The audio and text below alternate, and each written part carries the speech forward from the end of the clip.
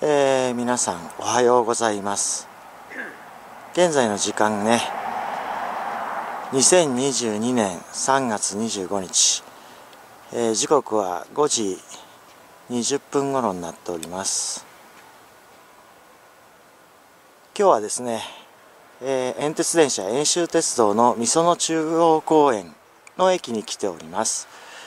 えー、これからね、え始発電車が入ってまいりますのでね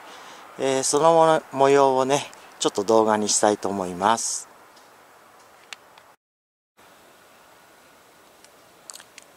えー、ようやくね空が白み始めた感じです、えー、浜北プラザホテルの上にはご覧の通りねお月様が出ております。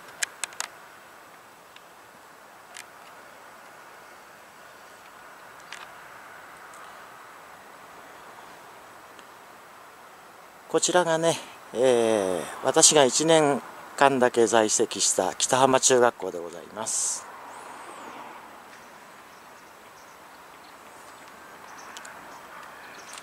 えー、もう間もなく電車が入ってくると思いますが、えー、ここのね、御園中央公園駅、今となってはね、遠鉄電車唯一の防線の駅、一面一線という形になっておりますね。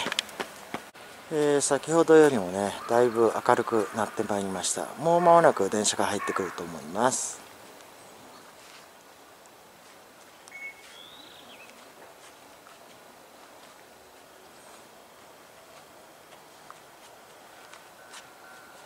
あ今踏切が鳴りましたね。まもなく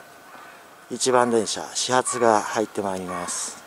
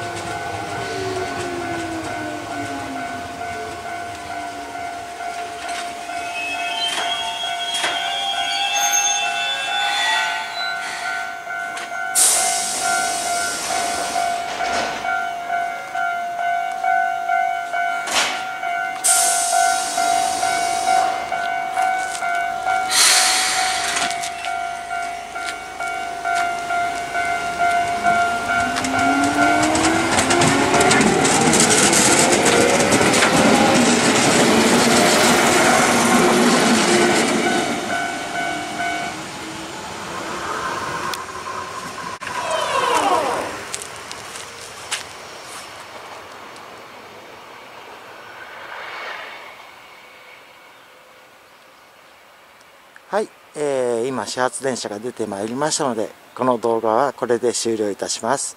ご視聴ありがとうございました。